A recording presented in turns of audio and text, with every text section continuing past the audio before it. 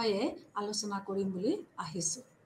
Teaching অৰ্থাৎ শিক্ষণ আৰু লাৰ্ণিং হৈছে শিকণ শিক্ষণ আৰু শিকণ এই দুইটা ওতঃপ্ৰোতভাৱে জড়িত। এই দুটাৰ ওপৰত বিভিন্ন সময়ত শিক্ষাবিদসকলে আৰু আমাৰ মনোবিজ্ঞানীসকলে বিভিন্ন ধৰণৰ ব্যাখ্যা আগবঢ়াই আহিছে। শিক্ষক এজনে যেতিয়া শিক্ষা প্ৰদান কৰে সেই পদ্ধতিটো শিক্ষণ পদ্ধতি বোলা হয়। আনহাতে ল'ৰা ছোৱালীয়ে যেতিয়া সেই শিক্ষণ পদ্ধতিৰ পৰা কিছু আহৰণ কৰে জ্ঞান সেই জ্ঞানখিনি আমি সৰ্বসাধাৰণ মানুহে শিকণ বুলি কওঁ। এই চেপ্টাৰটোত এই অধ্যায়টো যেতিয়া আমি অধ্যয়ন কৰিব যাম তেতিয়া ইয়াৰ মাজে মাজে আমি এনেকুৱা কিছুমান উপলব্ধি কৰিম যেনে শিকণ কি শিকণৰ বিভিন্ন সময়ত আগবঢ়োৱা সংজ্ঞাসমূহ শিকণৰ ধাৰণা শিকণৰ বৈশিষ্ট্যসমূহ শিকণৰ ওপৰত কোন সময়ত কোনজন মনোবিজ্ঞানে কেনেধৰণৰ সূত্ৰ আগবঢ়াইছিল শিকণৰ লগত কি কি নীতি জড়িত হৈ আছিল কি কি তত্ত্ব জড়িত হৈ আছে শিকণৰ লগত আৰু কেনেধৰণৰ আমাৰ কৌশল জড়িত হৈ আছে যিবোৰৰ সহায়ত তোমালোকৰ শিকণ ক্ষমতাটো উপলব্ধি হয় তাৰ বিষয়ে আমি বৃহৎভাৱে আলোচনা কৰিম। এতিয়া আহা প্ৰথমতে শিকণৰ অৰ্থনো কি?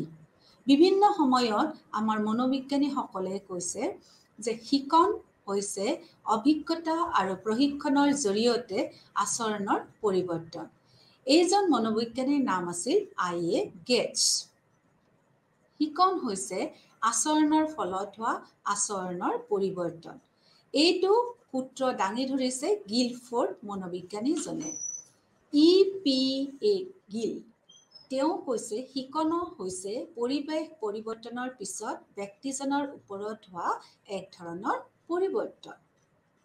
ক্ৰ আৰু ক্ৰ বিখ্যাত মনোবিজ্ঞানী আৰু শিক্ষাবিদ। তেওঁ শিকণ শব্দটো বৃহৎভাৱে আলোচনা কৰিছিল আৰু বিস্তৃতভাৱে পুংখানুপুংখভাৱে আলোচনা কৰাৰ পিছত তেওঁ কৈছিল যে শিকণ হৈছে ল'ৰা ছোৱালীৰ এক ধৰণৰ অভ্যাস। ল'ৰা ছোৱালীয়ে সেই অভ্যাসটোৰ মাজেদি জ্ঞান আহৰণ কৰে আৰু মনোভাৱৰ আহৰণ কৰা। এটা প্ৰক্ৰিয়া যি প্ৰক্ৰিয়াৰ মাজেদি ল'ৰা ছোৱালীয়ে ভৱিষ্যতৰ ফালে আগবাঢ়ি যাব লাগে। এনেধৰণে তোমালোকে শিকণৰ ওপৰত থকা বিভিন্ন সূত্ৰবিলাক গম পালা। এতিয়া আহা শিকণৰ ধাৰণা। শিকণ হৈছে এক অভিজ্ঞতাৰ ফল। শিকণৰ জৰিয়তে মানুহৰ আচৰণ আগ্ৰহ কৌশল আদিৰ পৰিৱৰ্তন হয়। ব্যক্তিজনক পৰিৱেশৰ সৈতে খাপ খুৱাবলৈ বাধ্য কৰাব পাৰে একমাত্ৰ শিকণ প্ৰক্ৰিয়াৰ মাজেদি।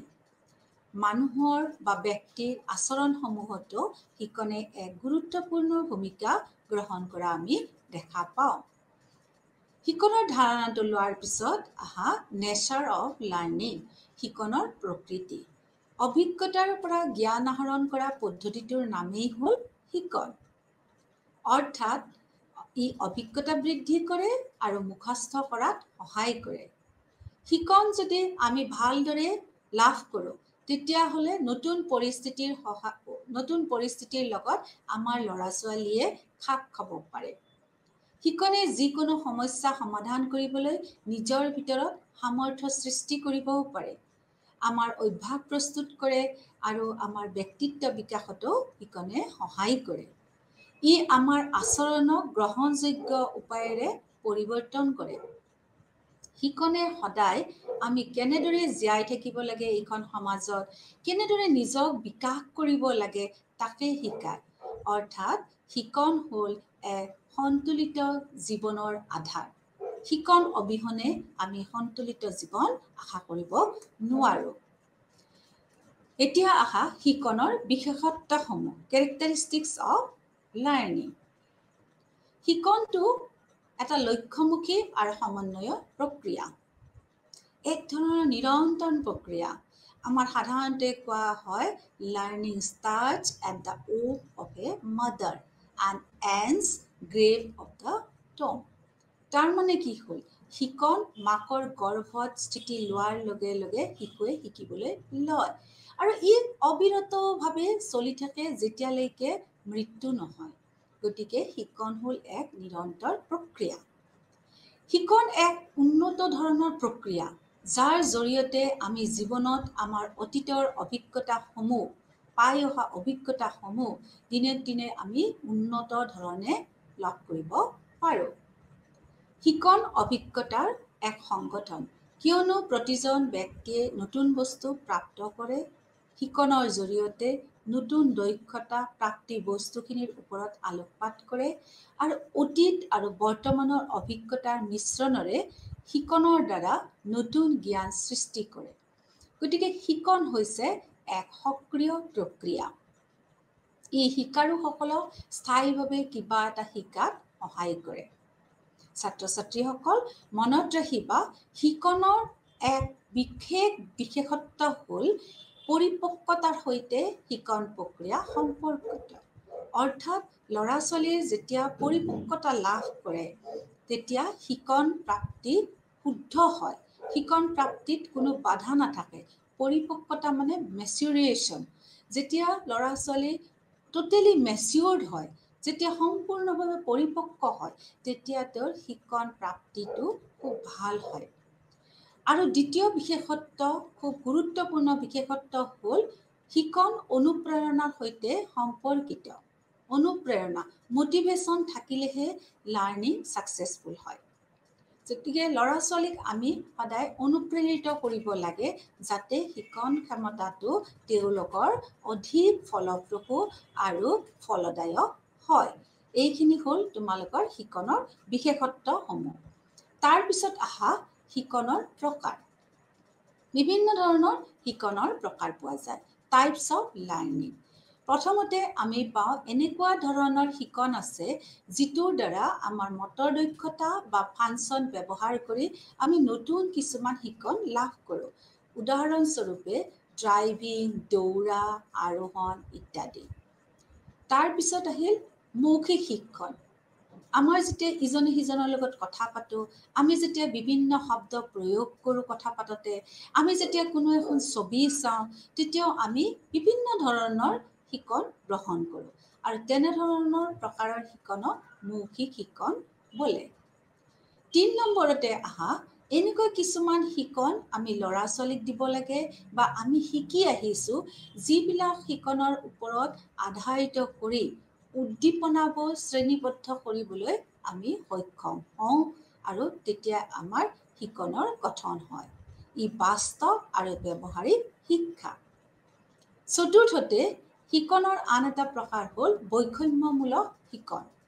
যেতিয়া মানুহে চৰিত্ৰবোৰৰ উমৈহতীয়া উপাদানটো বৈষম্য কৰিবলৈ সক্ষম হয় নতুন ছেটিঙত এক উপাদান চিনাক্ত কৰিবলৈ সক্ষম হয় সেনেধৰণৰ শিকন লাভ কৰিলে তেওঁৰ শিকনক বৈষম্যমূলক শিকন বুলি কোৱা হয়। এটিচুডিনেল লাৰ্ণিং এটিচুডিনেল লাৰ্ণিং অৰ্থাৎ আমাৰ মনোভাৱ সম্পন্ন শিকন। এই ধৰণৰ শিকন ব্যক্তিৰ পৰিপক্কতাৰ সৈতে সম্পৰ্কিত। যেতিয়া ব্যক্তিজনে পৰিপক্কতা পায় তেতিয়া শিকন ক্ষমতা বৃদ্ধি পায়। মই ইতিমধ্যে তোমালোকক কৈছোঁৱেই। ফলস্বৰূপে যেতিয়া পৰিপক্কতা সৈতে সম্পৃক্ত শিকন লাভ কৰে শিশুসকলে বা ল'ৰা ছোৱালীসকলৰ কি হয় মানসিক দক্ষতা বা শক্তি বৃদ্ধি পায়। এই শিক্ষাই ব্যক্তিজনক কি ভাল কি বেয়া তেওঁলোকৰ পৰিৱেশ কেনেকুৱা বা তেওঁলোকে কি পৰিৱেশত থাকিলে কেনেকুৱা শিকন লাভ কৰিব ইত্যাদি বিচাৰ কৰাত সহায় কৰে।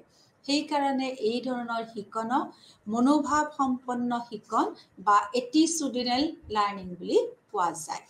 আৰু শেষত এটা প্ৰকাৰ হ'ল বোধগম্য শিকন। যেতিয়া ব্যক্তিসকলে তেওঁলোকৰ ইন্দ্ৰিয়ৰ জৰিয়তে বস্তুবোৰ পৰ্যবেক্ষণ আৰু চিনাক্ত কৰিবলৈ সক্ষম হয় তেতিয়া তেওঁলোকৰ বোধগম্য শিকন হয়। তেওঁলোকৰ ধাৰণাবোৰ অৰ্থপূৰ্ণ হয়। যেতিয়া তেওঁলোকে তেওঁলোকৰ অনুভূতি উত্তৰাধিকাৰী সংবেদন অংগৰ সৈতে সংযোগ কৰিব পাৰে। এয়া বিভিন্ন প্ৰকাৰৰ তোমালোকৰ শিকনৰ প্ৰকাৰ। এতিয়া আহা শিকনৰ সূত্ৰ শিকনৰ বৈশিষ্ট্য শিকনৰ ধাৰণা শিকনৰ প্ৰকাৰ এইসমূহ জনাৰ পিছত আমি শিকনৰ তত্ত্ববিলাক বুজি লওঁ। অতি পুৰণি তত্ত্ব মনোবিজ্ঞানী এডৱাৰ্ড লি থ্ৰংডইকে আগবঢ়াইছিল যিটো তত্ত্বৰ নাম সংযোগবাদ তত্ত্ব। ইংৰাজীত ইয়াক বোলে থিয়ৰী অফ কানেক্টিভিটিজিম আৰু ইয়াৰ আন এটা নাম হ'ল এছ আৰ থিয়ৰী অৰ্থাৎ এছ আৰ তত্ত্ব নতুবা বন থিয়ৰী। বন তত্ত্ব বুলিও জনা যায়। এডৱাৰ্ড লি থ্ৰংডিকে দেখিছিল যে শিকন হৈছে উদ্দীপনা আৰু সঁহাৰিৰ মাজৰ সংযোগ বা বন্ধনৰ ফলাফল যাক এছ আৰু আৰ বুলি কোৱা হয়। এছ মানে ষ্টিমুলাছ আৰ মানে ৰেচপন্স আমাৰ অসমীয়াত কি ক'ব? এছ মানে হৈছে উদ্দীপক আৰু আৰ মানে হৈছে প্ৰতিক্ৰিয়া। কেতিয়াবা প্ৰতিক্ৰিয়া প্ৰাপ্ত কৰাৰ বাবে আমি পুৰস্কাৰ বা শাস্তি উদ্দীপনা হিচাপে বা উদ্দীপক হিচাপে ব্যৱহাৰ কৰিব পাৰোঁ। শিকনটো তেতিয়া হয় যেতিয়া পুনৰাবৃত্তিৰ জৰিয়তে দুটা এজেণ্ট এছ আৰু আৰৰ মাজত সম্বন্ধ স্থাপন কৰা যায়। যদি উদ্দীপনাৰ প্ৰাৰম্ভিক সঁহাৰি সন্তোষজনক হয় ব্যক্তিজনক বাৰে বাৰে সঁহাৰিবোৰ পুনৰাবৃত্তি কৰিবলৈ উৎসাহিত কৰা হয় বা শক্তিশালী কৰা হয় শিকন ক্ষমতা বেছি দৃঢ় হয়। আনহাতে যদি প্ৰাৰম্ভিক সঁহাৰি সন্তোষজনক নহয় তেতিয়া কোনো শিক্ষাই বা শিক্ষণ পদ্ধতি শক্তিশালীকৰণ হ'ব নোৱাৰে। এডৱাৰ্ড লি থ্ৰংডিকৰ এই সংযোগবাদ তত্ত্বটোৱে মনোবিজ্ঞানিক জগতত খলকনি জগাইছিল। আৰু এই তত্ত্বটোৰ ওপৰত ভিত্তি কৰিয়ে থ্ৰণ্ডকে এটা নতুন পদ্ধতি উলিয়াইছিল যে ট্ৰায়েল এণ্ড এৰৰ পদ্ধতি প্ৰচেষ্টা আৰু কৃতি পদ্ধতি। এই পদ্ধতিটো আমাৰ সংযোগবাদ তত্ত্বৰ পৰাই ওলাই আহিছে। থ্ৰণ্ডাইকে এটা ভোকাটোৰ মেকুৰী এটা পাজল বাক্সত ৰাখি এই পদ্ধতিটো পৰীক্ষা কৰিছিল। তেওঁ বৰ্ণনা কৰিছিল যে মানুহে যেতিয়া ভুল কৰি বাৰে বাৰে গৈ থাকে সেই ভুল কৰাৰ পিছতো কি কৰিব পাৰে? সেই ভুলৰ পৰা শুদ্ধটো ওলাই আহিব পাৰে। আমি চোৱা যিকোনো কাম এটা কৰিলে আমাৰ কি কয়? যে এবাৰ নোৱাৰিলে এশবাৰ তোমালোকে কৰা। গতিকে থ্ৰণ্ডাইকেও মেকুৰীটো ভিতৰত ৰাখি বাকচটোৰ বাহিৰত কি কৰিছিল? তেওঁ বাকচটোৰ বাহিৰত এটা ভজা মাছ ৰাখিছিলে। সেই ভজা মাছটো দেখি মেকুৰীটোৰ একদম ইফালে গৈছে সিফালে গৈছে জঁপিয়াইছে তাৰপিছত কি কৰিছে সি কেনেকৈ আনিব পাৰে সেইটোৰ ওপৰত সি বাৰে বাৰে চেষ্টা কৰি আছে। সি বাৰে বাৰে চেষ্টা কৰি আছে যে কেনেকৈ সি গেটখন খুলি পেলাই মাছটো আনিবও পাৰে। আৰু এটা সময়ত সি দৰ্জাখন সেই বাকচটোৰ দৰ্জাখন খুলিবলৈ সক্ষম হৈছিল আৰু অৱশেষত সি মাছটো পাইছিল এতিয়া চোৱা ছাত্ৰ ছাত্ৰীসকল যেতিয়া আমি দেখিলোঁ যে এই মেকুৰীটোৱে বাৰে বাৰে আহা যোৱা গৈছে ইফালে গৈছে সিফালে গৈছে যিটো ইংলিছত কৈছে ট্ৰায়েল বাৰে বাৰে গৈছে। আৰু শেষত কি কৰিছে এবাৰ যদি দহবাৰ গৈছে সিটো ছাইডত আকৌ এবাৰ ইটো ছাইডত নবাৰ গৈছে। এনেকৈ যাওঁতে যেতিয়া দৰ্জাখন খোল খাই পেলাই সি মাছটো পাইছিলে তাৰপিছত আকৌ কি কৰিলে? থ্ৰণ্ডাইকে আৰু পৰীক্ষাটো পুনৰাই কৰিলে। একেই পৰীক্ষা একেই ভজা মাছ বাকচটো বাহিৰত আছে ভিতৰত মেকুৰীটো আছে। তেতিয়া সি মেকুৰীটোৱে এইবাৰ কিন্তু ভুলৰ সংখ্যাটো কমাই দিছে। তাক ইমান দেৰি লগা নাই। আগৰ বা সময়ৰ যিটো ব্যৱধান আছিলে ধৰা পাঁচ মিনিট আছিলে এইবাৰ সি তিনি মিনিটতে দৰ্জাখন খুলিব পাৰিছে আৰু মাছটো খাদ্য হিচাপে গ্ৰহণ কৰিব পাৰিছে। তাৰমানে এইটোৱে বুজালে তেওঁৰ প্ৰচেষ্টা আৰু কৃতি পদ্ধতি এইটোৱে বুজিলে যে মানুহে বাৰে বাৰে যদি চেষ্টা কৰে তেতিয়া ভুলৰ সংশোধন হয়। চেষ্টা কৰি থাকিলে ভুলৰ সংখ্যাটো কমি কমি কমি কমি এটা সময়ত ভুলটো সম্পূৰ্ণভাৱে নোহোৱা হয়। আচৰণৰ সংশোধন হয়। ল'ৰা ছোৱালীয়ে যেতিয়া বাৰে বাৰে কৰি থাকে তেওঁৰ বিহেভিয়াৰৰ সংশোধন হয়। সংশোধন হৈ নিজকে নতুন পৰিৱেশৰ লগত সমযোজনা যিটো এডজাষ্টমেণ্ট কৰিবলৈ সক্ষম হয়। এইটোৱে হৈছে মূল নীতি প্ৰচেষ্টা আৰু কৃতি পদ্ধতি trial and error method you try তুমি চেষ্টা কৰি যোৱা তেতিয়া লগে লগে কি হ'ব তোমাৰ যিখিনি এৰৰ্ছ আছে কমি কমি থাকিব। প্ৰথমতে যদি দহটা থাকে দ্বিতীয় বাৰত আঠটা তৃতীয় বাৰত ছটা চতুৰ্থ বাৰত চাৰিটা পঞ্চম বাৰত হয়তো একেবাৰে নাথাকিব। এই পদ্ধতি যেতিয়া আলোচনা কৰিছিলে থণ্ডাইকে তেতিয়া আমি গম পাওঁ যে এনেধৰণৰ শিকনত যেতিয়া বাৰে বাৰে চেষ্টা কৰি কিবা এটা বস্তু শিকা হয় তেতিয়া শিক্ষাৰ্থীবিলাকৰ প্ৰচেষ্টা আৰু শ্ৰমটো নিয়োজিত হৈ থাকে। শিকনত প্ৰচেষ্টা কৃতি পাচনি আৰু সংশোধনো অন্তৰ্ভুক্ত হৈ থকা আমি দেখা পাওঁ। মেকুৰীটো যেনেকে ভজা মাছটো অনাৰ উদ্দেশ্যে কি কৰিছিল? বাৰে বাৰে গেটখনৰ ওচৰত গৈ আছিল আহি আছিল এটা সময়ত তাৰ সময়ৰ ব্যৱধানটো কমি আছিল। ঠিক তেনেদৰে কোনো এটা বস্তু শিকিব লাগিলে সেই বস্তুটো শিকাৰ বাবে আমাৰ কি থাকিব লাগিব? এটা লক্ষ্য থাকিব লাগিব। আৰু লক্ষ্য আৰু উদ্দেশ্য এটা থাকিব লাগিব। গতিকে শিকাটো লক্ষ্যমুখী আৰু উদ্দেশ্যপূৰ্ণ হ'ব লাগে। শিকন হৈছে সংযোগ গঠনৰ ফলাফল। উদ্দীপনা আৰু সঁহাৰিৰ মাজত। উদ্দীপনা আৰু সঁহাৰি কাক বুলিলে? যে মেকুৰীটোৰ উদ্দীপন হৈছে যে যাব লাগিছিলে তেতিয়াহে মই খাব পাৰিম। তাৰ যিটো ৰেচপন্স আহিছে এই দুটাৰ মাজত সংযোগ গঠন হৈছে। উদ্দীপনা আৰু সঁহাৰিৰ মাজত যেতিয়া সংযোগ গঠন হয় তেতিয়া শিকনৰ ফলাফল পোৱা যায়। এই থণ্ডাইকে যেতিয়া কৃতি আৰু প্ৰচেষ্টা পদ্ধতিটো উলিয়ালে সেই পদ্ধতিৰ ওপৰত তেওঁ কি কৰিলে লাৰ্ণিঙৰ কিছুমান ৰুলছ আনিলে প্ৰিন্সিপলছ আনিলে যে what are the principles of learning যে শিকনৰ নিয়মসমূহ কি কি। থ্ৰণ্ডাইকৰ আমি সংযোগবাদ তত্ত্বৰ ওপৰত ভিত্তি কৰি শিকনৰ তিনিটা আমি নিয়ম প্ৰধানতভাৱে পাওঁ যে প্ৰথম হৈছে প্ৰস্তুতিৰ নিয়ম। ল অফ ৰেডিনেছ এই নিয়ম অনুযায়ী শিক্ষাৰ্থীজনে সামৰ্থ্যৰ সৈতে মানসিক আৰু শাৰীৰিকভাৱে শিকিবলৈ সাজু হ'লেহে শিকা হয়। অৰ্থাৎ আমি যেতিয়া দেখোঁ যে আমাৰ ল'ৰা ছোৱালীসকলে কাম কৰিবলৈ ইচ্ছুক হৈছে কাম কৰিবলৈ সুবিধা পাইছে বা আগ্ৰহী হৈছে তেতিয়াহ'লে তেনেধৰণৰ শিকন তেতিয়া যদি শিক্ষকে শিকায় তেতিয়া সেই শিকন কি হ'ব? মনোগ্ৰাহী হ'ব সেই শিকন আনন্দময়ী হ'ব সেই শিকন গ্ৰহণযোগ্য হ'ব আৰু সেই শিকন খৰতকীয়া হ'ব আৰু সহজ হৈ পৰিব। আৰু শিকনৰ বাবে ল'ৰা ছোৱালীয়ে কি কৰিব লাগিব? নিজকে প্ৰস্তুত কৰিব লাগিব। প্ৰস্তুত মনেদি যদি প্ৰস্তুত নহয় ল'ৰা ছোৱালীক গালি ধমকি দি পেলাই কেতিয়াও শিকন কাৰ্য ফলাফল আমি ভাল নাপাওঁ। গতিকে শিকনৰ বাবে ল'ৰা ছোৱালীসকলে থণ্ডাইকৰ মতে ল'ৰা ছোৱালীসকল কেনেকুৱা হ'ব লাগিব? মানসিক দৈহিক আৰু স্নায়ৱিকভাৱে প্ৰস্তুত থাকিব লাগিব। ফিজিকেলি তেওঁলোক হেল্ডি হ'ব লাগিব। মেণ্টেলি হেল্ডি হ'ব লাগিব। তেওঁলোকৰ কগনেটিভ যিবিলাক ডমেইনছ আছে সেইবিলাক ঠিক ঠাক হ'ব লাগিব। যে দৈহিক মানসিক শাৰীৰিক আৰু স্নায়ৱিক প্ৰস্তুতিৰ প্ৰয়োজন। আৰু লগতে উপযুক্ত পৰিৱেশো লাগিব প্ৰস্তুতি থাকিব লাগিব। শিক্ষকে শিকালেই নহ'ব। ল'ৰা ছোৱালীসকলৰ মনটো থাকিব লাগিব শিকাৰ বাবে। তাৰপিছত আমি দ্বিতীয় নীতি হিচাপে ফলাফলৰ নীতি পাওঁ। যেতিয়া উদ্দীপক আৰু প্ৰতিক্ৰিয়াৰ মাজত সংযোগ স্থাপন হয় তেতিয়া ফলাফল সদায় তৃপ্তিদায়ক হয়। শিকন ক্ষমতাটো খুব ভাল হয়। ইয়াতে কোৱা হৈছে যে শিক্ষাৰ্থীয়ে যেতিয়া সন্তুষ্টি আৰু আনন্দ পায় যিকোনো কথা শিকি তেতিয়া তেওঁলোকৰ শিকাটো স্থায়ী হয়। তেওঁলোকৰ শিকাটো কি হয়? সঠিক হয়।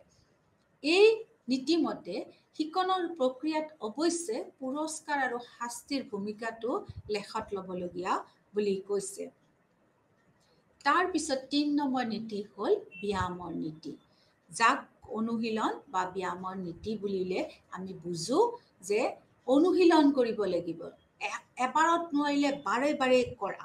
তেতিয়া শিকন কি হ'ব? স্থায়ী হ'ব। শিকন পুনৰাবৃত্তি আৰু অনুশীলন কৰিলেহে ভালকৈ শিকিব পাৰিব।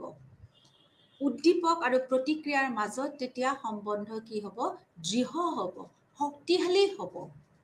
এই এক্সাৰচাইজ ল অফ এক্সাৰচাইজ যিটো ল আছে ব্যায়ামৰ নীতি এইটো দুটা ভাগত ভাগ কৰিব পাৰি। এক নম্বৰ হ'ল ব্যৱহাৰৰ নীতি দুই নম্বৰ হ'ল অব্যৱহাৰৰ নীতি।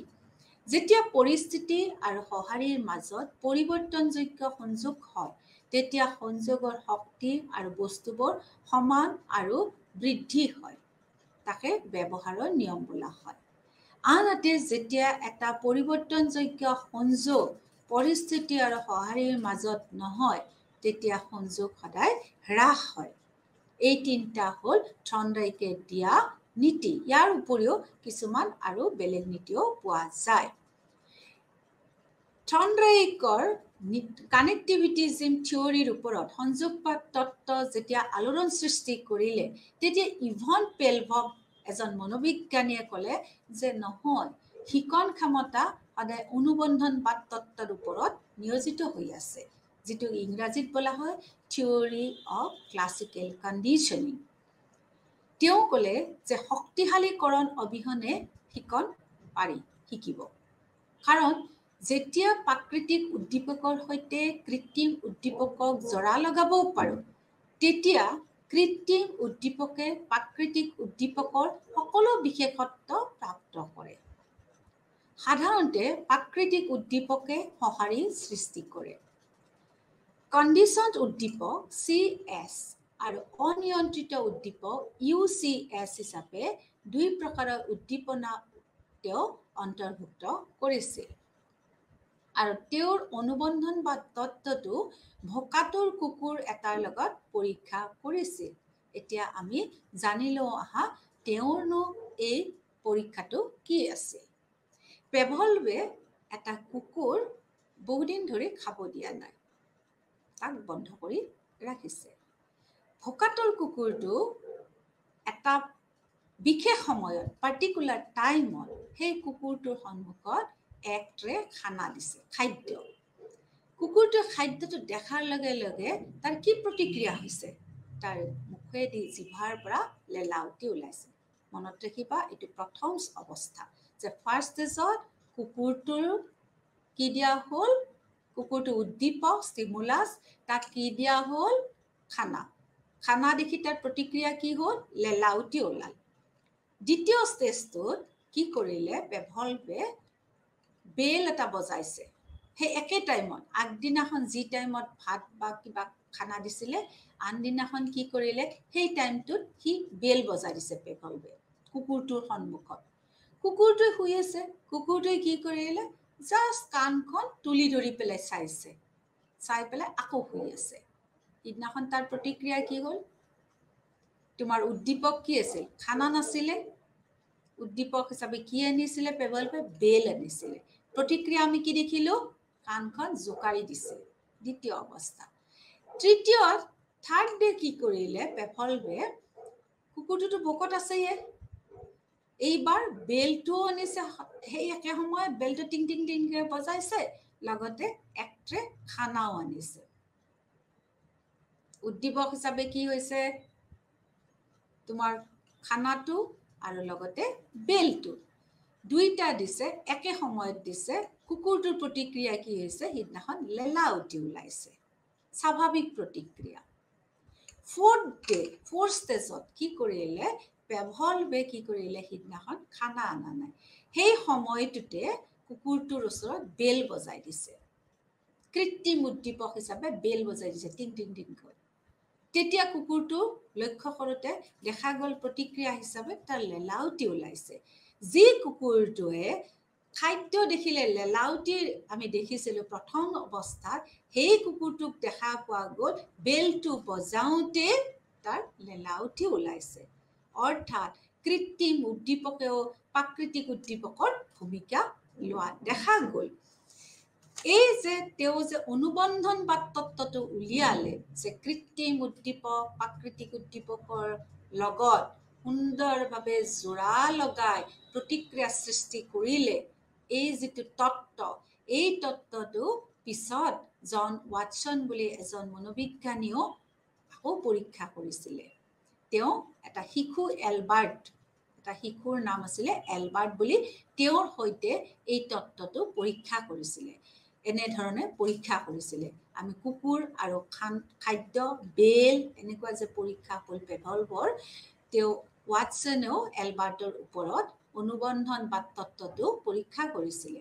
আৰু ই মানুহৰ ওপৰত কেনেদৰে প্ৰভাৱ পেলায় তাক পৰীক্ষা কৰিছিল আৰু শেষত তেওঁ দাবী কৰিছিল যে উদ্দীপনা আৰু সঁহাৰিৰ হেৰফেৰ কৰিও মানুহৰ আচৰণ নিৰূপণ কৰিব পাৰি। এইটো এটা নতুন তত্ত্ব। থৰ্ণডাইকৰ সংযোগবাদ তত্ত্ব গ'ল পেভলবৰ অনুবন্ধনবাদ তত্ত্ব গ'ল। এইবাৰ অহা ছাত্ৰ ছাত্ৰীসকল স্কিনাৰৰ ক্ৰিয়াত্মক অনুবন্ধন তত্ত্ব। Operant conditioning theory. B F স্কিনাৰে পাভলবৰ দ্বাৰা প্ৰদান কৰা যিটো শক্তিশালীকৰণ শব্দ এইটো উপলব্ধি কৰি এই তত্ত্বটোত স্কিনাৰে বিকশিত কৰিলে। তেওঁ শক্তিশালীকৰণৰ সলনি অপাৰেণ্ট শব্দটো ব্যৱহাৰ কৰিছিল যিটো পুৰস্কাৰ বা শাস্তিও হ'ব পাৰে। তেওঁ কি কৰিলে এটা শহাপহু আৰু গাজৰৰ উদাহৰণ দি পুৰস্কাৰৰ ধাৰণাটো বিশ্লেষণ কৰিলে যে এটা শহাপহু আছিলে তাক কি সি দৌৰি থাকে এটা গাজৰ দিয়ে তেতিয়া শহাপহুটোৱে জঁপিয়ায় আকৌ যেতিয়া শহাপহুটো দৌৰে আকৌ এটা গাজৰ দিয়ে।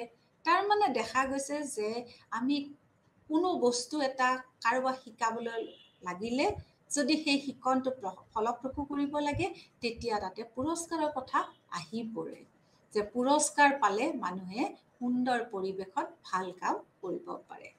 স্কিনাৰে এই অনুবন্ধন ক্ৰিয়াত্মক অনুবন্ধন তত্ত্বটো এটা সুন্দৰ বাকচত ৰাখি এটা এন্দুৰ ৰাখিছিল আৰু এই তত্ত্বটো বুজাইছিল।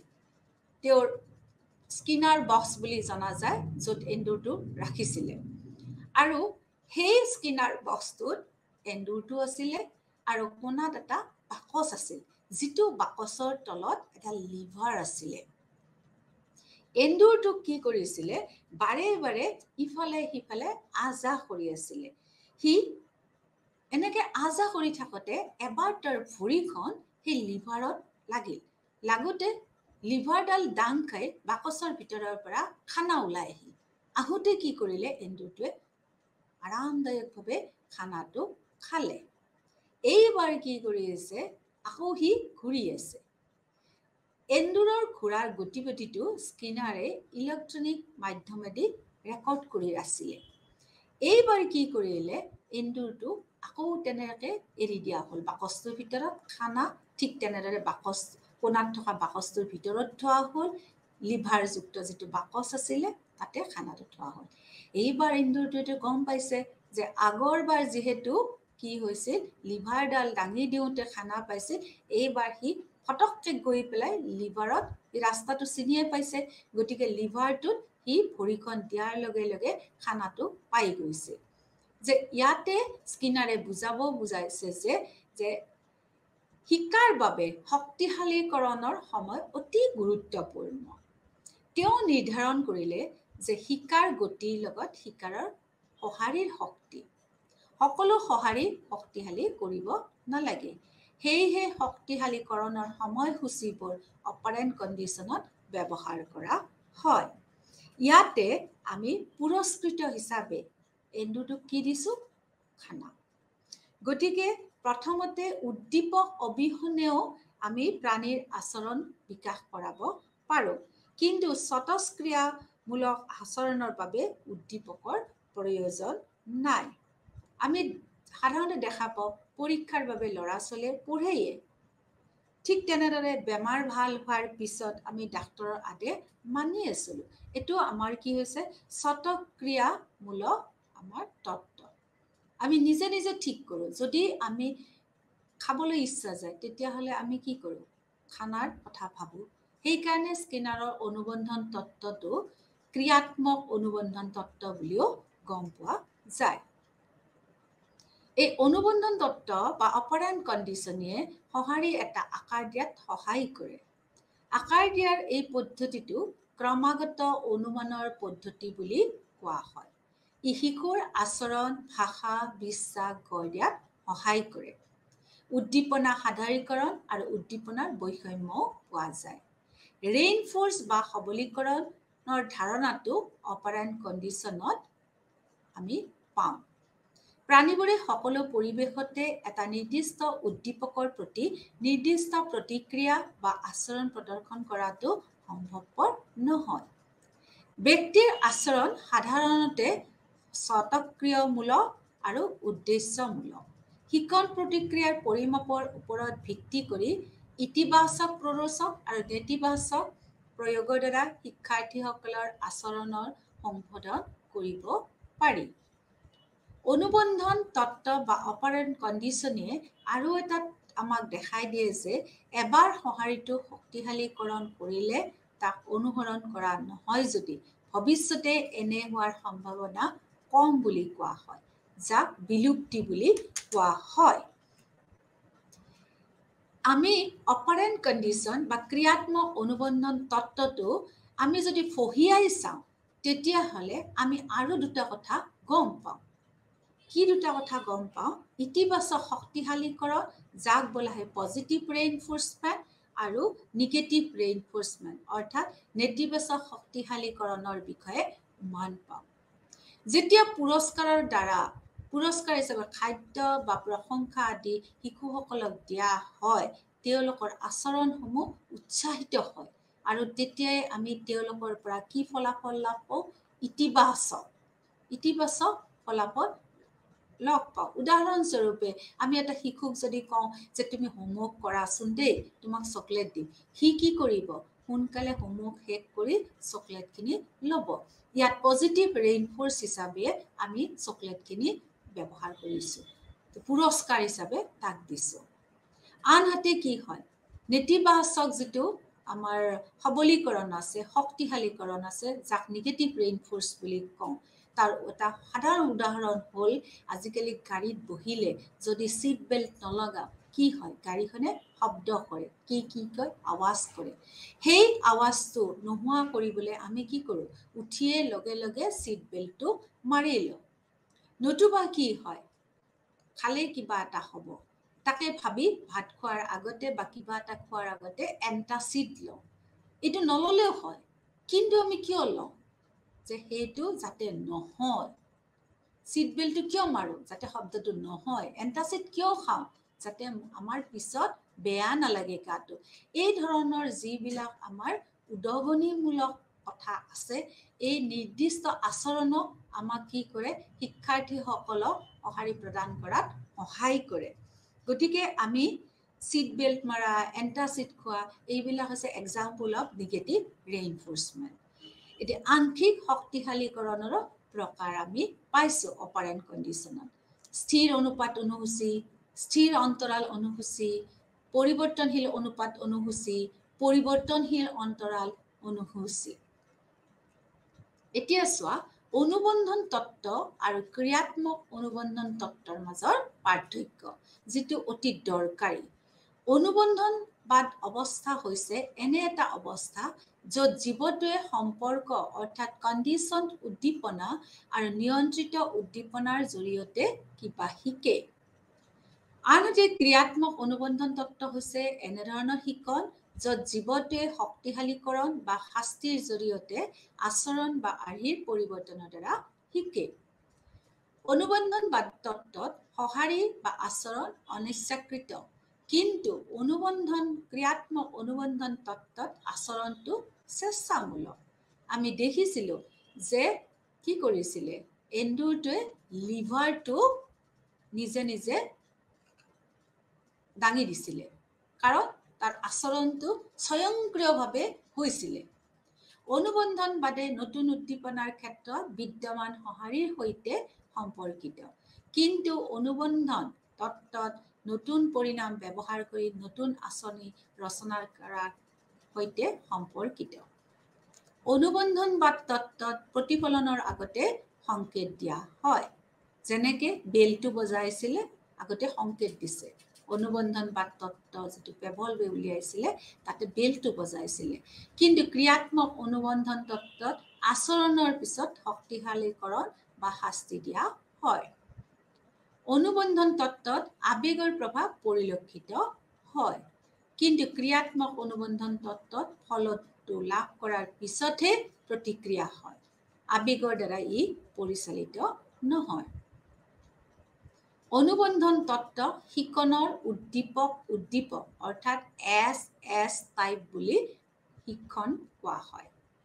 যে classical condition is always based on S S theory কিন্তু ক্ৰিয়াত্মক অনুবন্ধন তত্ত্ব সেইটো সদায় উদ্দীপক আৰু প্ৰতিক্ৰিয়া শিকন বুলি কোৱা হয়।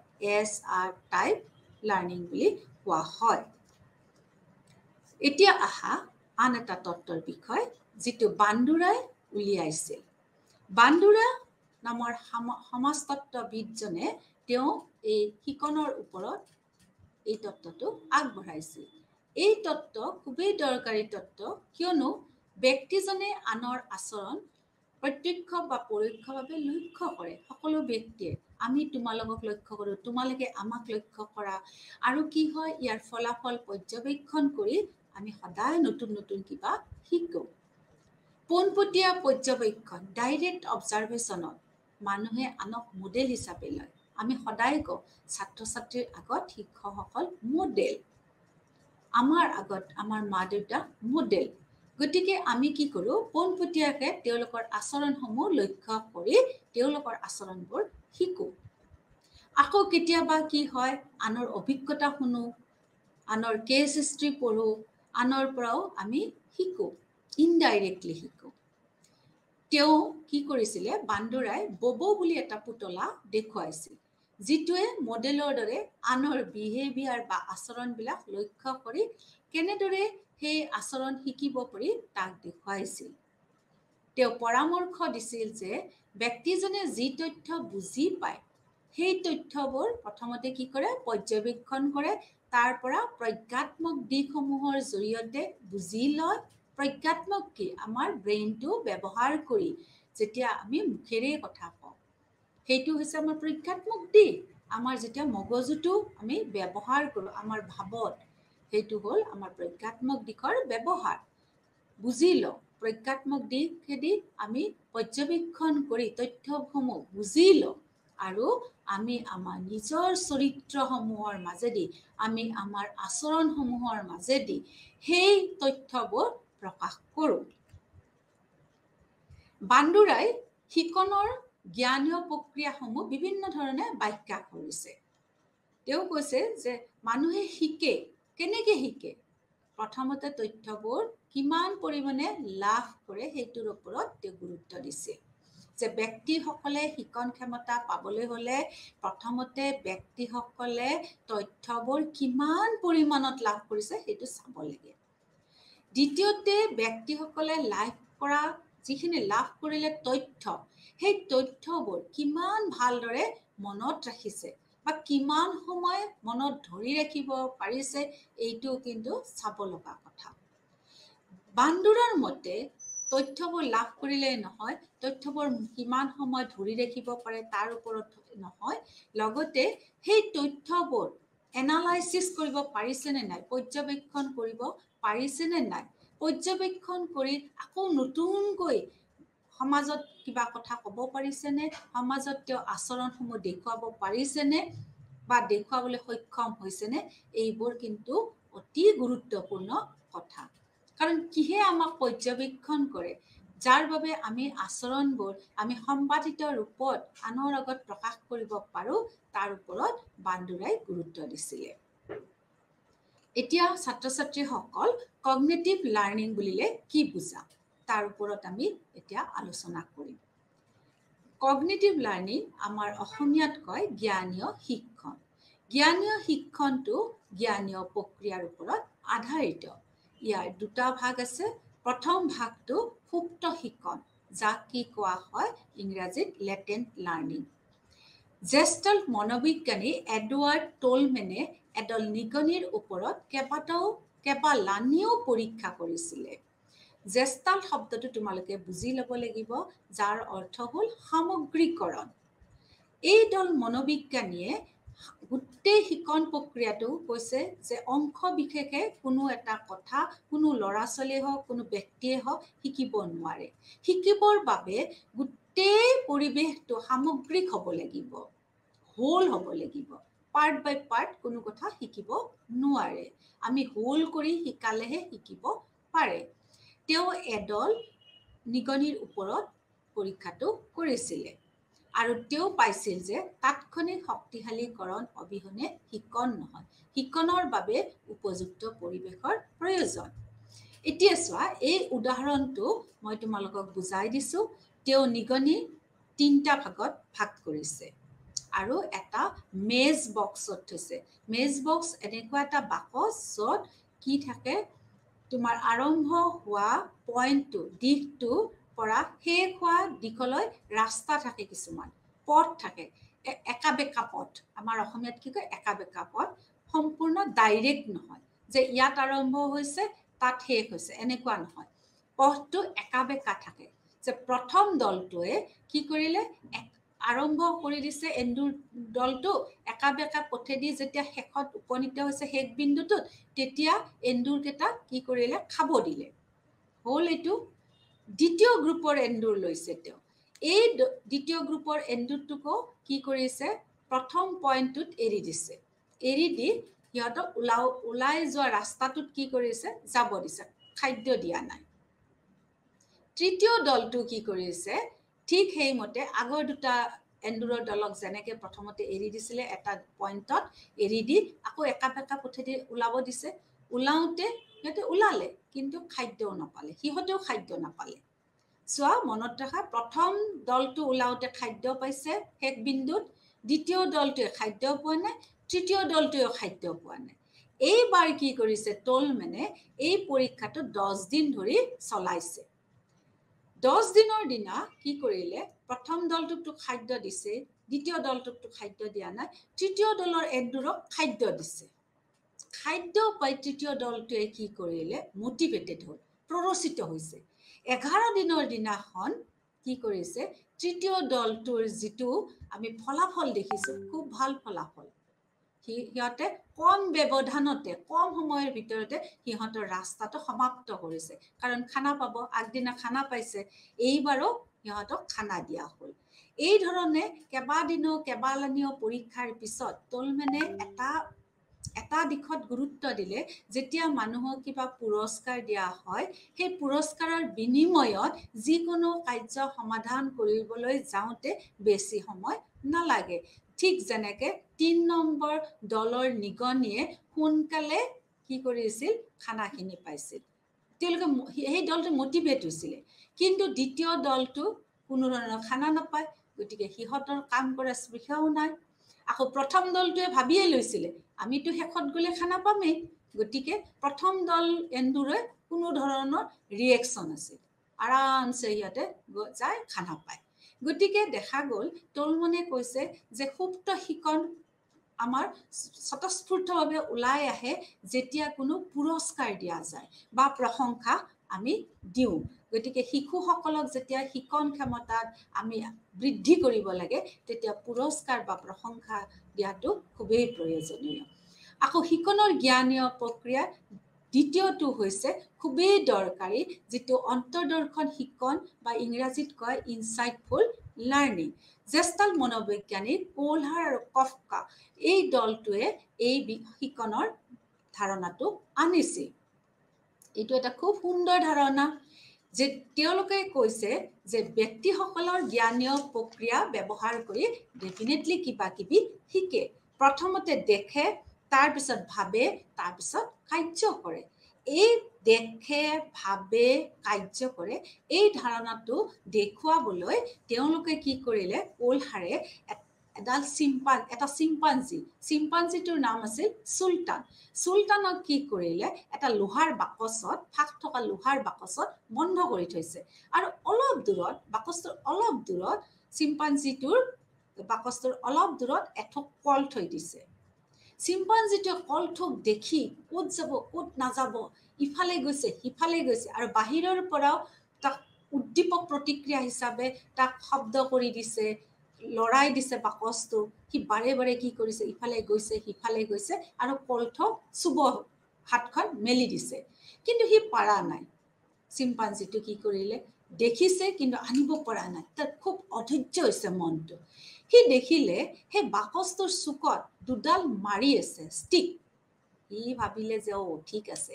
আনিলে মাৰি দুডাল আনি পেলাই চাইছে এডাল অলপ চুটি এডাল অলপ দীঘল।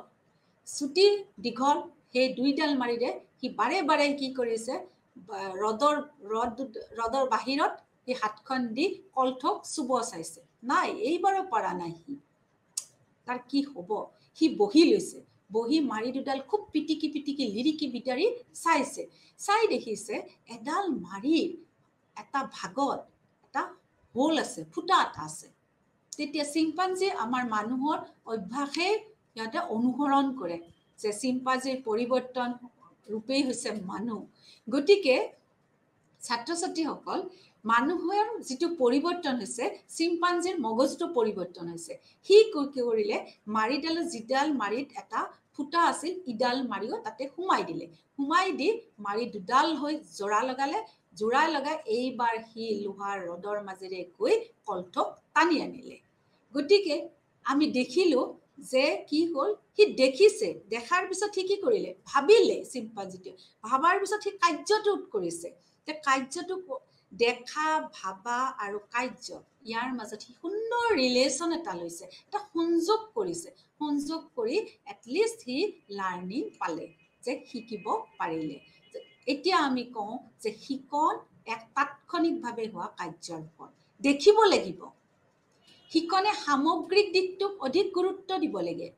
কাৰণ মাৰি দুডাল জোৰা লগাওঁতেহে সি কলঠক চুব পাৰিছিলে। হোলটো যেতিয়া হোল ধাৰণাটো আহিব তেতিয়াই শিশুসকলে বা যিকোনো মানুহে সোনকালে শিকিব পাৰে।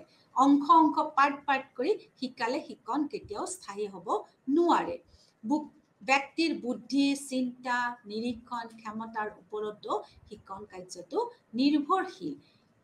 চিম্পাঞ্জিটোৱে বুদ্ধি লগাইছিল চিন্তা কৰি বহি আছিলে অবজাৰ্ভ কৰিছিলে কেনেকে আনিব পাৰি।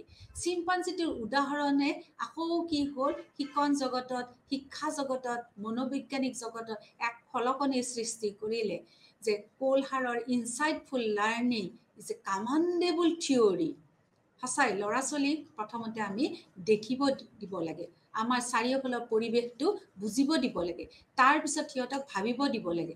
তাৰপিছতহে তেওঁলোকক সেই ভবা কাৰ্যসমূহ প্ৰতিফলিত কৰিবলৈ বিভিন্ন ধৰণৰ আমি কাম দিব লাগে। এতিয়া আহা শিকনৰ কৌশলসমূহ। What are the strategies to receive learning effectively যে শিকনৰ এনে কি কৌশল আছে যিবিলাক কৌশল প্ৰয়োগ কৰি আমি আমাৰ শিকন কৌশলটো স্থায়ী কৰিব পাৰোঁ আমাৰ শিকন কৌশলটো ফলপ্ৰসূ কৰিব পাৰোঁ। এক নম্বৰ আমাৰ ল'ব পাৰোঁ মানসিক প্ৰতিশ্ৰুতি। মানসিক প্ৰতিচ্ছবি মানসিক প্ৰতিচ্ছবিত দুটা পদক্ষেপ থাকে। প্ৰথমতে আমি মনত ৰাখিব লাগিব কিছুমান তথ্য। এতিয়া তথ্যবোৰ আমি কেনেকৈ পাম? কিছুমান আমি পুথি পঢ়ি পেলাই তথ্যবিলাক আমি মনত ৰাখিব লাগিব। দ্বিতীয়তে মনত ৰাখিলেই নহ'ব। সেই তথ্যসমূহ আমি এখন ছবি প্ৰস্তুত কৰি ল'ব লাগিব মনৰ ভিতৰতে। সেইকাৰণে মনত ৰাখি আমি তথ্যসমূহৰ দ্বাৰা এখন ছবি মনৰ ভিতৰতে গঠন কৰি ল'ব লাগিব। যদি মানসিক সেই ছবিখনত সকলো প্ৰাসংগিক তথ্য থাকে তেন্তে আমাৰ কি হ'ব? শিক্ষণ কাৰ্যটো অধিক ফলপ্ৰসূ আৰু আমি সঠিকভাৱে শিকিব পাৰিম। দ্বিতীয় কথাটো হ'ল ৰিহাৰ্চেল যাক অসমীয়াত আখৰা বুলি কয়। ইয়াৰ অৰ্থ হৈছে অধিক শিকিবলৈ বাৰে বাৰে পুনৰাবৃত্তি কৰা তথ্য যিটো আমাৰ ল অফ এক্সাৰচাইজৰ লগত মিল আছে। যে আমি কোনো কথা শিকিলেই নহ'ব। শিকি আজি শিকিছোঁ এৰিছোঁ নহ'ব। আমি শিকিছোঁ তাৰপিছত তাৰ ওপৰত প্ৰেক্টিচ কৰিব লাগিব এক্সাৰচাইজ কৰিব লাগিব। আমি যেনেকৈ গণিতৰ অংকসমূহ কি কৰোঁ আমি প্ৰেক্টিচ কৰোঁ তেনেকৈ যিকোনো কথা শিকিবলৈ আমি তাক বাৰে বাৰে পুনৰাবৃত্তি কৰিব লাগিব। তাৰো দুটা ভাগ আছে তত্বাৱধান আখৰা আৰু বিস্তাৰিত আখৰা। বিস্তাৰিত আখৰাত আমি ভাবিব লাগিব যে আমি কিয় শিকি আছোঁ কেনেকৈ শিকি আছোঁ কিমান দূৰ আমি শিকিম। এইটো কথা আমি মনতে যেতিয়া আমি এটা এটা সুন্দৰ ব্যৱস্থাপনাৰ মাজেদি আগবাঢ়িম তেতিয়া আমাৰ শিকনটো স্থায়ী হ'ব। তিন নম্বৰ অতি গুৰুত্বপূৰ্ণ কৌশল হ'ল সংগঠন। শিশুসকলক কি কৰিব দিব লাগে? তালিকা প্ৰস্তুত কৰিব দিব লাগে। বিভিন্ন ধৰণৰ তালিকা থাকে। কেনেকুৱা তালিকা থাকে? চৰাইৰ নাম লিখা তালিকা থাকিব জেগাৰ নাম লিখা তালিকা থাকিব তোমাৰ খোৱা বস্তুৰ নাম লিখা এনেকুৱা ধৰণৰ বিভিন্ন ধৰণৰ তালিকা থাকে। এই তালিকাসমূহৰ ভিতৰত কেনেকৈ তেওঁলোকে বস্তুসমূহ মনত ৰাখিব পুনৰ গঠন কৰি ৰাখিব তাৰ বাবে তেওঁলোকক অতি সংক্ষেপে কিছুমান কিটিপ শিকাব লাগে কিছুমান কাইডিয়া শিকাব লাগে। যেনে ধৰা ইংৰাজীত Dolly go' D O' L L Y dash G O' D for Delhi O' for ostrich L for London L for lotus Y for yak G for G for goat O' for অষ্ট্ৰি এনেকে এটা শব্দ হিচাপে যেতিয়া মনত ৰাখিব তাৰপিছত তেওঁলোকক ক'ব লাগে এতিয়া ল'ৰা ছোৱালী বা ছাত্ৰ ছাত্ৰীসকল তোমালোকে এতিয়া এই শব্দটোৰ ভিতৰত যিখিনি আমি শব্দ পালো এতিয়া তোমালোকে তালিকাৰ ভিতৰত ভৰোৱা। জেগাৰ নামত লণ্ডন যাব পশুৰ নামত যিখিনি এনিমেলৰ নাম আছে তাতে অষ্ট্ৰিক যাব। এনেকে আমি কিছুমান সংগঠন কৰিও শিকনৰ কৌশল শিকাব পাৰোঁ। এতিয়া আহা আমি শেষৰ ফালে আহিছোঁ ছাত্ৰ ছাত্ৰীসকল শেষত আমি গম পাওঁ যে লাৰ্ণিঙত যিটো উপাদান থাকে বিভিন্ন উপাদানে আমাৰ শিকন ক্ষমতাটো সমৰ্থবান কৰি তোলে। তিনি ধৰণৰ আমি উপাদান পাওঁ। মনোবৈজ্ঞানিক উপাদান শাৰীৰিক উপাদান আৰু পৰিৱেশ উপাদান। তোমালোকে মনত ৰাখিবা মনোবৈজ্ঞানিক উপাদান বুলি ক'লে ছাত্ৰ ছাত্ৰীৰ আগ্ৰহ থাকিব লাগিব ছাত্ৰ ছাত্ৰীৰ মনোভাৱ থাকিব লাগিব ছাত্ৰ ছাত্ৰীৰ আৱেগিক অৱস্থাৰ উন্নত উন্নতিকৰণ থাকিব লাগিব। সিহঁতৰ আৱেগ মনোভাৱ আৰু আৱেগিক অৱস্থাৰ যদি পৰিপক্কতা নাথাকে কেতিয়াও শিকন ফলপ্ৰসূ হ'ব নোৱাৰে। শিকনৰ আন এটা উপাদান হ'ল শাৰীৰিক উপাদান। তাহাঁতৰ মনটোও আছে কিন্তু শাৰীৰিকভাৱে যদি বয়স অনুপাতে সুস্থ নহয় তেতিয়াও কিন্তু শিকন ক্ষমতা কেতিয়াও ফলপ্ৰসূ হ'ব নোৱাৰে। শিকনৰ ফলাফল ইতিবাচক হ'ব লাগিলে দৃঢ় হ'ব লাগিলে বয়স ঠিক অনুমতে শিকাব লাগিব বয়স অনুযায়ী শিকাব লাগিব। যেনে ক্লাছ ছিক্সৰ ল'ৰাটো বাৰ বছৰীয়া শিকনটো শিকাব লাগিব। যদি বাৰ বছৰীয়া শিশুটোক আমি ষোল্ল বছৰীয়া শিশুৰ মানে শিক্ষা দান কৰোঁ তেতিয়া কেতিয়াও সেই শিকন ফলপ্ৰসূ নহয়। তাৰমানে বয়স অনুযায়ী আমি শিক্ষা প্ৰদান কৰিব লাগিব। দ্বিতীয়তে শিক্ষা প্ৰদান কৰিলেও নহ'ব। সেই শিশুটোক যি শিকাওঁ সেইখিনি অনুশীলন কৰিব দিব লাগিব। তৃতীয়তে তাৰ পৰিপক্কতা আহিব লাগিব। পৰিপক্কতা মানে মেচিউৰেশ্যন থাকিব লাগিব। শিশুটো মেচিয়ৰ হ'ব লাগিব। বয়স আছে আমি দেখোঁ কিছুমান শিশুৰ বয়স ঠিকেই হয়। শিক্ষা প্ৰদানো সেইমতেই কৰা হয়। কিন্তু পৰিপক্কতাৰ অভাৱৰ কাৰণে শিশুটোৰ শিকন ক্ষমতা আমি সক্ষম কৰি তোলাত অসহায়ক হওঁ। তেওঁৰ সংবিধান সংবিধানাত্মক যিবিলাক দিশ আছে মগজুৰ বিকাশ হাত ভৰি আদিৰ বিকাশ আছে। এইবিলাক কিছু কিছু ক্ষেত্ৰত কিছু কিছু শিশুৰ আমি ভাল অৱস্থাত নেদেখোঁ। আৰু তেতিয়া সংবিধানাত্মক অংশবোৰৰ যদি কিছু ক্ষেত্ৰত বেমেজালি থাকে তেতিয়াও কিন্তু শিকন কাৰ্য ফলপ্ৰসূ নহয়। তৃতীয় উপাদান হিচাপে আমি শিকনৰ পৰিৱেশটো ল'ব পাৰোঁ। শিশুসকল বা ছাত্ৰ ছাত্ৰীসকলৰ শিকন ক্ষমতা অধিক ফলপ্ৰসূ হ'ব অধিক মনোগ্ৰাহী হ'ব সোনকালে শিকিব আগ্ৰহী হ'ব যদি পৰিৱেশটো সুস্থ সুন্দৰ হয়। বিদ্যালয় পৰিৱেশ বুলিলে কাক বুজা? শিশুৰ চাৰিওফালে থকা অৱস্থা। শিশু বিদ্যালয়লৈ যায় শিশু ডাঙৰ দীঘল হয় ঘৰখনত শিশু সমাজখনৰ মাজত থাকে তে বিদ্যালয় ঘৰ সমাজৰ খুব সুন্দৰ পৰিৱেশ থাকিব লাগে যাতে শিশুৱে অবিৰতভাৱে শিক্ষণ ক্ষমতাটো লাভ কৰিব পাৰে। আমি সদায় মনত ৰাখিব লাগিব learning is a continuous process learning is a goal oriented শিক্ষণ এটা উদ্দেশ্যমুখী হ'ব লাগে। তেতিয়াহে শিক্ষণ আৰু শিকনৰ মাজৰ সম্বন্ধ খুব দৃঢ় হ'ব খুব স্থায়ী হ'ব। ছাত্ৰ ছাত্ৰীসকল সদায় মনত ৰাখিবা আমাৰ তত্ত্বসমূহ ত্ৰণদায়কৰ সংযোগবাদ তত্ত্ব পেভলবৰ অনুবন্ধনবাদ তত্ত্ব আৰু স্কিনাৰৰ ক্ৰিয়াত্মক অনুবন্ধনবাদ তত্ত্ব। শিকন ক্ষমতাত এই তিনিটা তত্ত্বই যি আলোড়ন জগাইছিলে সেই আলোড়নখিনি আমাৰ ভৱিষ্যত প্ৰজন্মৰ শিকাবৰ বাবে আমি ব্যৱহাৰ কৰিব পাৰোঁ। সুন্দৰ সুন্দৰ উদাহৰণৰ দ্বাৰা শিকন প্ৰক্ৰিয়াটো আমাৰ শিক্ষা জগতত আছে। যে শিকনৰ অৰ্থই হৈছে অভিজ্ঞতা আৰু প্ৰশিক্ষণৰ জৰিয়তে আমাৰ আচৰণসমূহৰ পৰিৱৰ্তন কৰা। শিকন এটা অৰ্ডিনাৰী শব্দ নহয়। শিকন এনেকুৱা এটা শব্দ যাৰ মাজেদি আমাৰ ছাত্ৰ ছাত্ৰীসকলে ভৱিষ্যতত নিজৰ আচৰণৰ পৰিৱৰ্তন কৰি এক সুস্থ সুন্দৰ সবল জীৱন যাপন কৰিবই পাৰে। নহ'লে কি হ'ব? গোটেই সমাজখনত শিকন প্ৰক্ৰিয়াটো অচল হৈ থাকিব। আমি শিক্ষকসকলে শিকন প্ৰক্ৰিয়াটো আমাৰ অভিজ্ঞতাৰ মাজেদি শিশুসকলক দিবৰ বাবে আমি যত্ন কৰিব লাগে। শিক্ষকসকলে শিকনৰ মাজেদি তেওঁলোকৰ আচৰণ আগ্ৰহ কৌশল ইত্যাদি পৰিৱৰ্তন কৰাই তেওঁলোকক ভালদৰে সমাজত বসবাস কৰিবলৈ আগবঢ়াই নিয়াটোৱে আমাৰ আচল উদ্দেশ্য। ই এটা গুৰুত্বপূৰ্ণ প্ৰক্ৰিয়া কাৰণ শিকন অবিহনে শিক্ষা কেতিয়াও লাভ কৰিব নোৱাৰে। শিকনে পৰিৱৰ্তন আনে শিকনে তেওঁলোকৰ পৰিৱৰ্তন আনে তেওঁলোকৰ ৰুচিত পৰিৱৰ্তন আনে তেওঁলোকৰ ব্যৱহাৰত পৰিৱৰ্তন আনে তেওঁলোকৰ দ্বাৰাই সমাজত পৰিৱৰ্তন আহে। তেওঁলোকে অভ্যাস কৰিব শিকন এনেকুৱা এটা বস্তু ক্ৰয়ে যে কৈছিলে যে শিকন হৈছে অভ্যাস জ্ঞান আৰু মনোভাৱৰ আহৰণ।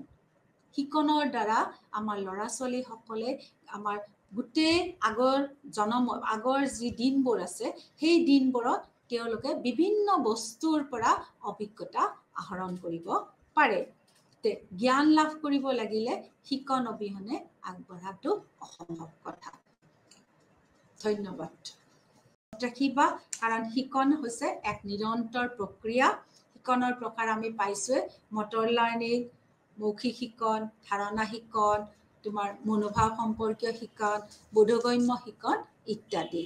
আৰু তোমালোকে প্ৰথমতে কি কৰিবা শিকন বস্তুটো জানিব হ'লে ল'ৰা ছোৱালীক প্ৰথমতে চাব দিব লাগিব দেখিব দিব লাগিব।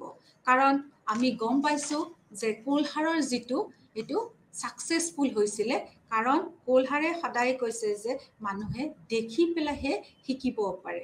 তাৰপিছতে ভাবে সেই দেখা কাৰ্যটো ভাবে। তাৰপিছতহে শিক্ষণ আগবাঢ়ি যায়।